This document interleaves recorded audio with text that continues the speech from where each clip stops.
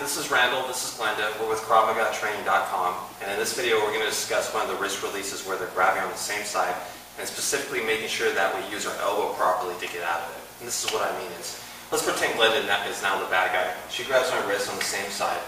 Um, this is the proper technique, and of course we back up in a tactical stance. But let me explain a few little uh, common beginner mistakes to avoid. So when you're training, make sure you avoid these things.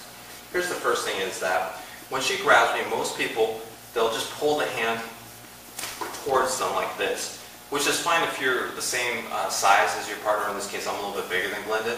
But the problem is, let's pretend that she's bigger and stronger than I am. If I just pull like this, I'm just using my bicep strength and trying to pull away. It doesn't work as well. I'm only using pulling strength. So it's really important to remember to put your elbow in the right position in that. Think about you're throwing an elbow strike like this. So your elbow's going to go forward, but your hand pulls towards you at the same time. This allows you to get the pull and push benefit going both directions, like this. So Glenda's grabbing really strong. Notice how my hand still pulls towards me, but my elbow pushes like this, and of course, back up your tactical stance. So that's a, a, common mistake to, to avoid. It's not just pulling, but adding that elbow push. Here's the next problem that comes up occasionally is that when it grabs me, people are like, okay, yeah, I need to start pushing that elbow forward.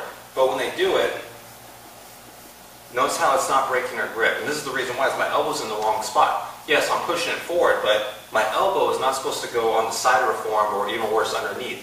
It's supposed to go over the top, like this. And this is the reason why, is when my elbow goes over the top of her forearm, you'll see that my forearm is going to put a lot of pressure on her thumb, which is the weak spot of her grip.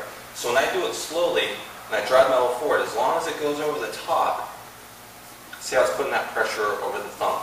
So like I said before, don't go underneath. Look at she can still hold on to it. Or like this, she's being a little stubborn, it won't work. Go over the top of the form, put that pressure on the thumb, and you see I can actually fall through and clear it right over. All right, so those are the two mis common mistakes that you want to avoid. Make sure, first of all, don't just pull your hand like this. It'll work if we're the same size, but if she's, let's pretend she's just deadly strong, it won't work as well. Make sure you use your elbow forward, but don't go underneath. Second mistake, make sure you go over the top.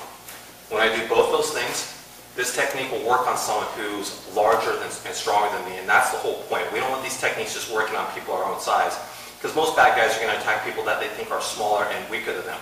We want to make sure these techniques work on people who are bigger and stronger than us. So remember those two things, and you'll find this particular wrist release will be a lot more effective. Thanks for watching.